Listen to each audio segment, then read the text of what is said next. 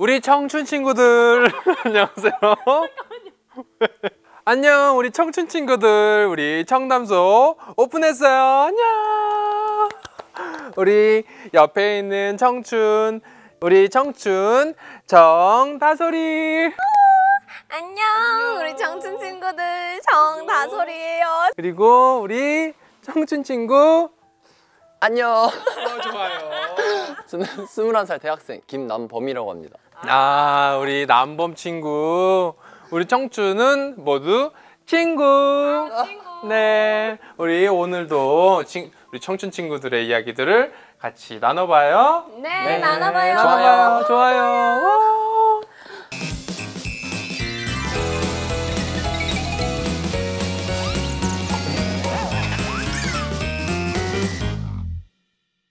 안녕하세요. 30대 초반 남자입니다. 저랑 똑같네요.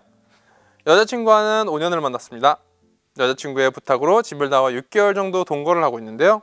동거를 해보고 결혼을 결정하자는 여자친구의 말에 동거를 하게 되었는데 6개월이 지난 지금 선택의 기로에 놓였습니다. 저는 솔직히 같이 살아보니 여러 가지 안 맞는 점이 많아 결혼하기 싫은데 여자친구는 하고 싶어하는 눈치입니다. 저는 동거한 책임감에 결혼을 해야 될까요? 어. 아, 동거. 아, 동거 혹시 해보신 적? 아 아니요 동거. 전 해봤어요. 어, 네? 여자친구랑 아니면 여자친구랑 전 여자친구랑 이제 동거를 해봐서 네. 아, 아마 반 학기 6개월 정도. 아... 헤어지면서 자연스레 아, 그렇죠. 자연스럽게 이제 저도 이제 방을 구했고 이제 그분은 거기 살고. 음, 아 그러면 오히려 더 나을 수도 있어요. 네. 그 추억이 담긴 집에 혼자 있는 게 아니니까. 남아 있잖아요. 근데 뭐 아, 미안한 소리지만 어쨌든. 근데 약간 저, 저도 저희도 같이, 같이 살다 보니까 이제 서로 안 맞는 게 있어가지고 음. 그런 부분 때문에 많이 싸우고 이게 반복돼서 저도 헤어진 게 있거든요. 아 혹시 말씀해 주실 수 있다면 어떤 점이 혹시? 아 이제 예를 들어서 누군가 밥을 하면 자연스럽게 누군가 설거지 해야 된다. 근데 이게 약간 좀 했는데 맨날 저만 일주일 내내 설거지만 계속 하는 거예요. 뭔가 이게 이게 약간 저 개인적인 그런 이- 이럴 수 있는데 알바 갔다 오고 일하다 오는데 집에서 맨날 남은 설거지 있다고 계속 나 혼자 이런 걸로 역할 분배가 네, 되지 않았다. 분배, 이런- 좀잘 안 되었다. 그거는 여자친구뿐만이 아니라 그냥 룸메이트와 애도 일어날 수 있는 일이죠. 네, 그리고 또 그거는 같이 살아보지 않는 이상 겪을 수, 있을 수 없는 일이잖아요. 같이 살아봐야 알 수 있는 일이니까. 저는 동거를 안 해봤지만 해보는 게 좋겠다라는 입장입니다. 왜냐면은 이제 진짜 안 맞는 부분이 여러 가지 특히 이런 청소 같은 부분이 되게 안 맞는 경우도 있고 그래서 다분히 그냥 연애를 할 때 얘기하는 거와는 좀 다른 생활이 되잖아요. 그래서 좀 더 깊이 있게 사람을 알게 되고 그래서 어, 좀 잘해 보셨 잘했다고 생각하고 그리고 동거했다는 책임감 때문에 어, 결혼을 한다는 거는 조금 아닌 것 같아요. 왜냐면 어, 뭐 당연한 것도 아니고 이제 권장상 그냥 개인의 선택이지만 동거를 많이 하잖아요, 사실은. 그래서 그런 분들이 많기 때문에 그런 책임감으로 한다는 거는 오히려 책임감이 없는 행동일 수도 있다고 생각해요. 서로에 대한 책임감이 없는 행동일 수도 있어요. 아 맞아요. 동거를 아 저는 동거를 해본 적이 없죠. 네. 그 부모님과 살고 있어서 동거를 해본 적은 없는데 어. 그 가끔 가끔 여행을 가면서 친구들이랑 이렇게 같은 이렇게 숙소에 묵을 때가 있잖아요. 아니면 대학교 MT를 가거나 뭐 그럴 때면 같이 이렇게 생활을 하게 되는데 그렇게 보면 생활해야만 음, 알수 있는 점들이 보이다 보니까 저도 동거를 해보고 결혼한 거에 대해서는 너무 적극적으로 찬성하는 부분이고 그리고 그거 안 맞는다고 헤어질 수 있겠어 라는 말을 조금 던져보고 싶은 게 얘기를 해보셨는지. 네, 나 이런 이런 점이 신경이 쓰여. 만약 그 설거지 그거 나 일을 갔다 오면 너무 힘든데 좀 해줄 수 없었어? 라고. 어난 너무 좀 부탁이야. 조금 한 번만 해줘. 우리 그렇게 가면서 맞춰가자. 그리고 이 여자친구는 결혼할 마음이 있기 때문에 사연에서. 어 그렇게 충분히 좋게 좋게 얘기를 한다면 충분히 서로 맞춰 나갈 수 있지 않을까? 라는 생각을 좀 해봐요. 집에서도 그냥 제 옷은 안 건드렸으면 좋겠는데 자꾸 제 옷을 뭐 동생 방에 걸어놓는다든지 아니면은 뭐 잘못 빨아가지고 뭐 난리가 난다든지 뭐 이런 경우가 있어서 뭐 그럴 수 있는 거죠. 이게 사, 사람이 방식이 이 집에서 살아도 다 다르고 저 집에서 살아도 조금씩 다 달라서 맞아요. 그런 걸 차근차근 맞춰 나가면 되는데 동거하면서 맞춰 나갈 수 있는지 없는지를 확인하는 시간을 갖는 게 좋을 것 같아요. 그래서 이야기를 해보고 서로 맞춰보고 싸우지 않는 선에서 그 대화가 안 통했을 경우에는 나는 이렇게 되면 너랑 전혀 그 같이 생활을 이루어 나갈 수 없어서 헤어지고 싶고 결혼까지는 생각을 못 하겠다 얘기를 꺼내 보는 것도 좋을 것 같아요. 그러면 여자분께서 아 그렇게까지 생각을 한다면 나는 너- 너랑의 결혼 너무 원하기 때문에 내가 고쳐볼게가 될 수도 있고 어 그렇게까지 생각하는 줄 몰랐어. 근데 난 여기는 못 바꿔주겠어. 너가 이렇게 고쳐주면 안 될까가 될 수도 있는 거니까. 실제로 설거지 같은 거 고쳐졌어요? 아니 약간 그런 건 이제 막 합의점 찾아서 이제 뭐 내가 바쁜 날이나 이 상대방이 바쁜 날에는 서로 왔다 갔다 하는 것도 있었고. 봐요. 그게 그래. 빨래 개는 것도 이제 내가 그냥 빨래를 털게 너가 개 이런 식으로 해가지고. 아, 음, 역할 분배가 네, 역할 분배. 좀 점점 맞춰지면 맞, 예, 그쵸. 맞춰갈 수 있는 거죠. 그런 게 결혼 생활이지 않을까라는 생각도 좀 그런 생활 하고 싶으신가 봐요 눈빛이. 어느 정도. 아, 저는 이제- 예, 결혼을 할 만한 분이 있다면 뭐 할 수 있지 않을까요? 왜냐면 가정을 꾸린다는 거는 되게 아름다운 일이라고. 그럼 휴진 씨도 동거를 하고 결혼하실 거예요? 어, 웬만하면. 상호간에 합의가 된다면 뭐 동거를 좀 해보고 같이 아, 뭐 동거가 아니라도 뭐 같이 지내보고 뭐 여행이라도 가보고 뭐 이렇게 해서 해보고 좀 알아본 다음에 하는 게 맞지 턱대고 결혼을 하는 거는 좀 그렇지 않아요 생활할 때 이 선은 지켰으면 좋겠다 하는 게 있잖아요 저는 어 쓰레기는 쓰레기통에 약간 요 정도? 그다음에 뭐 빨래는 빨래통에. 저는 막 제가 막 설거지를 맨날 맨날 하고 막 깔끔을 떨고 이런 스타일은 아니에요. 적어도 옷은 옷방에 웬만하면 아니면 오- 그것도 안 될 거면 적어도 어느 정도 구석대 그왜 뭐 의자 거리에 난또 의자 이 정도만. 근데 뭐 밥을 먹었는데 그냥 식탁에 다 깔아놓고 다 먹고 그냥 냅둔다든지 아니면 이거는 조금 그렇잖아요. 그 정도. 이거는 못 참겠더라고요. 아니면 뭐 양말을 벗었는데 아무데나 벗어놓고, 그러니까 벗어놓은 걸 인지하면 괜찮아. 아예 까먹으면은 완전 이거 얘기가 다르거든. 그거 맞죠. 어, 완전 까먹으면 이 사람은 인식조차 못하는 거예요. 이걸. 너무 습관이라서. 맞아요. 그러면 상대방은 그게 아무것도 아니라서 또 얘기하기도 뭐하고 그러니까 괜히 신경 계속 쓰이고 막 그런 게 있어요. 얘기를 어, 너무 사소한 거잖아요. 그러니까 말을 할 수가 없거든.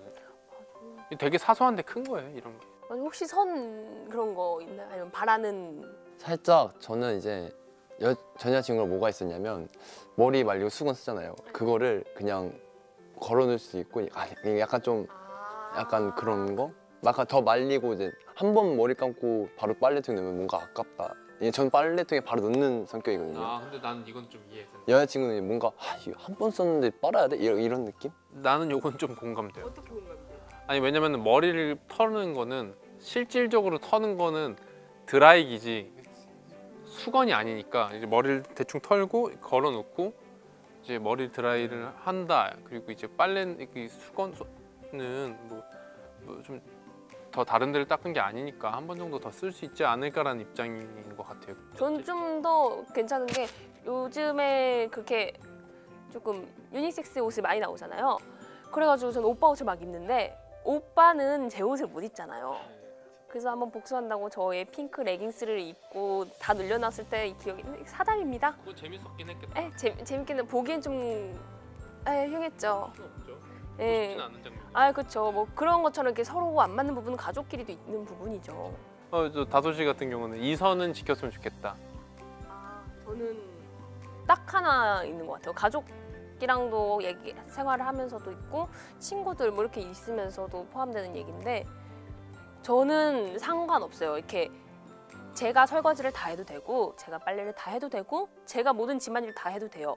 제가 피곤한 몸이어도 근데 거기서 해도 될 수 있다는 전제 조건은 고마워. 그 이거를 알아줬으면 좋겠는 거죠. 제가 뭐 설거지 청소 다 할 수 있어요. 늦게 일어나니까 뭐 그렇게 할 수 있어요. 그러면 아 고마워. 너 덕분에 집이 깨끗해졌어. 너 덕분에 맛있는 밥을 먹을 수 있었어. 너 덕분에 나는 설거지를 안 할 수 있었어. 뭐 이렇게 어 너 덕분에 내가 빨래통까지 안 가도 되네 너 덕분에 뭐 더 그런 거가 있다면 고마워 어 그리고 어, 네 너무 그게 익숙해져 버리지 않았으면 그리고 어 가끔씩은 아 이걸 내가 또 했었어야 되는데 괜히 미안해라는 말도 좋고 이렇게 말로써 표현해 주는 걸 전 너무 좋아하기 때문에 그게 있으면 저는 제가 뭘 하든 상관이 없거든요. 그게 근데 그게 딱 선이에요. 이 고마움이라는 게 되게 웃긴 건데 처음엔 고마웠는데 나중엔 당연함이 되더라고요. 아 맞아요. 그거 항상 고마운 줄 알아야 되는데 물론 이제 저도 못하는 부분들이 있죠. 부모님들한테 항상 고맙고 감사해야 되는데 고마운데 말이 안 나와. 이런 경우는 있어요. 근데 이제 어그 그 고마움을 알아주는 사람들이 되게 고마웠고 좋은데 맞아요. 이 사연자분도 이렇게 안 맞는 부분이 있어도 이 여자친구분께서 어, 고마워, 미안해, 뭐 이런 말을 입에 달고 계셨다면 그래도 그래도 안, 알아는 주니까 안 맞은 거를 안 맞는 걸 알고 나에 대해서 내가 뭘 한 거에 대해서 인정을 해주니까 라고 넘어갈 수 있었지 않았을까 싶기도 해요. 제 생각엔 근데 이제 이분이 책임감 때문에 결혼해야 되지 않을까요라는 생각을 한 이상 마음이 많이 떠나지 않았을까라는 생각을 좀 해요. 음, 이미 끝장까지 다 봤다. 그런 얘기 있잖아요. 뭐, 뭐 남녀를 나누긴 좀 그렇지만 성향 어떤 어떤 성향을 가진 사람들은 헤어지자라는 말이 진짜 오랜 시간 동안 생각해 와서 헤어지자라는 얘기를 하는 거잖아요. 그래서 네 많이 생각하고 도저히 안 되겠다 싶을 때. 그래서 제 생각에는 그런 면에 그런 성향을 가진 분이신 것 같아서 왜냐면 5년을 사귀었으니까 어, 끝장을 다 보고 이제 끝장 다 봤는데 이제 이 삼긴 시간이 미안하고 고- 고마워서 만날까라는 생각을 하시는 것 같은데 그것보다는 그냥 그것보다는 그냥 진짜 책임감을 찾아보는 게 나을 것 같다는 생각도 들어요. 아니면 그 집안일 말고 6개월간 동거를 해보니 이 사람이 나에게 너무 그거 아까 얘기한 것처럼 내가 있는 게 너무 당연하고 익숙해져 버려서 집안일 말고도 그런 태도를 보여서 안 맞다고 생각하시는 거면 그거에 대한 건 다시 한번 생각을 해보고 얘기를 나눠봐야 될 것 같아요. 집안일 문제가 아니라 이 사람이 너무 내가 너무 당연한 사람처럼 언제나 있을 것처럼 행동을 해서 이렇게 안, 맞, 안 맞다 생각을 하는 거면 조금 다시 생각해봐도 될 것 같긴 해요. 충분한 소통과 이야기가 그쵸. 있다면 그건 무조건적으로 필요한 것 같아요. 연인 사이에 이야기, 소통, 대화는 필수적인 겁니다. 아, 진짜 이야기라는 게 참 어려운 것 같아요. 우리도 이제 청담소지만 아. 담소를 나누는 게 뭐, 저희야 이제 청, 청춘들의 담소를 나누는 거고 같은 그냥 친구로 얘기하는 거지만 연인으로 얘기하는 것도 좀 다르잖아요. 조심스럽게도 얘기해야 되고 항상 이야기를 나눈다는 게 참.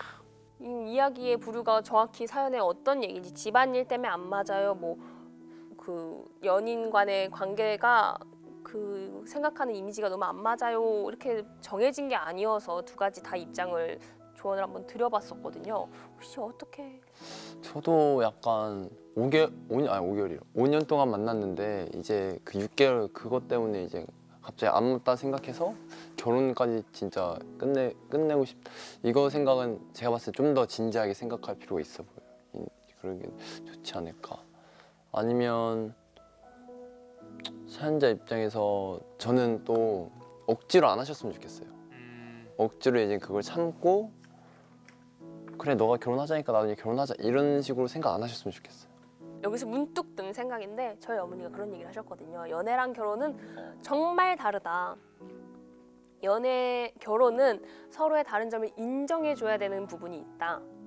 그리고 바꿔 바꿔야 된다면 바꿀 의지도 있어야 하고 바꿀 의지가 없으면 그 부분을 인정해 주면 된다. 뭐가요?